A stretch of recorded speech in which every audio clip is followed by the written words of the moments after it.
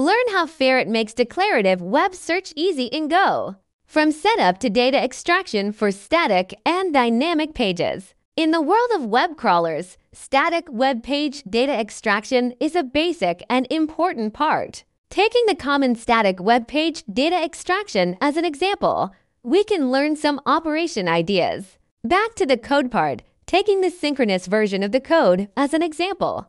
To extract the post content, we can first define a function. The role of this function is to help us get the desired tweet information from the web page elements. The specific operation is to traverse the span tags under each element one by one. The advantage of this is that it can accurately locate the data related to the tweet. In this process, we also need to define some key selectors. For example, the CSS selector of the tweet content. We need to clearly define the elements it points to so that the tweet content can be accurately extracted after extracting the tweet content some processing is required. For example, we can extract the first 10 characters of the content to make the data more concise and clear. At the same time, in order to make the data presentation more beautiful, we can also process the spaces in the content and remove the extra spaces to make the output look more comfortable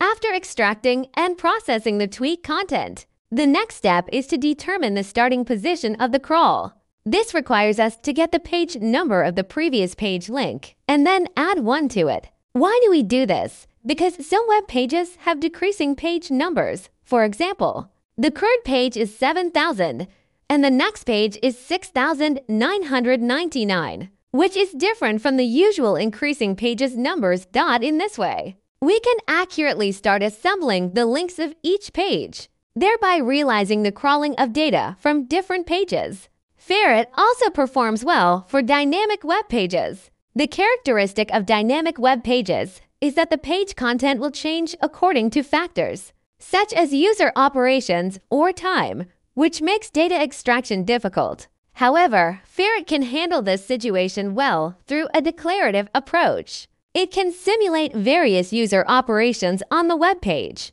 such as clicking and scrolling, to trigger the loading of dynamic content. Then, Use its powerful selector function to accurately extract the data we need. In 2025, the timeliness and accuracy of data are becoming increasingly important. Ferret's declarative web crawling method not only improves the efficiency of data extraction, but also ensures the quality of data. It allows developers to search the web and crawl data more easily in the Go language environment without writing complex code logic. Whether for novice developers or experienced professionals, Ferret is a tool worth trying. Using Ferret for declarative web crawling, whether it is static or dynamic web pages, can greatly facilitate our web data crawling work in 2025. It simplifies the process of data extraction, allowing us to focus more on data analysis and applications, thereby mining more valuable information.